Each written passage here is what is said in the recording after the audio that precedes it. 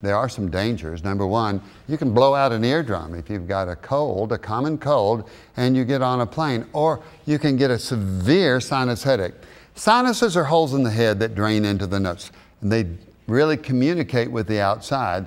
There's a little tube that goes from the ear to the nose called the eustachian tube that equalizes the pressure in the ear.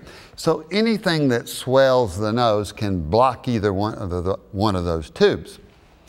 When they're blocked, if you go up in the air in a plane and the pressure inside the plane changes, it can't change inside the ear of the sinuses and you can get terrifying pain either from pressing in or it trying to blow itself out. So what can you do? Well, you need to be sure that that nose is under good control.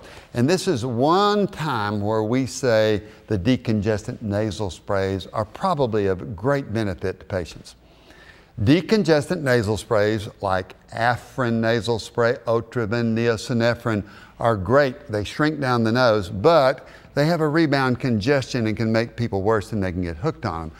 Before you travel on a plane, however, the nose will be decongested, those tubes will stay open, and you won't have as much problem with uh, blocked ears or blocked sinuses.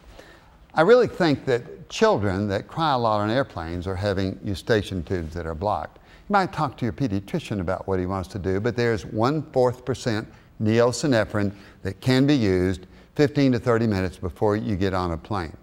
Other things that we can do, yawn, uh, that opens up the eustachian tube. Chew gum, that will help open up the eustachian tube. And drink fluids, that will do it. Alcohol shouldn't be used. Dehydrates people, makes things worse as far as blocking the eustachian tube.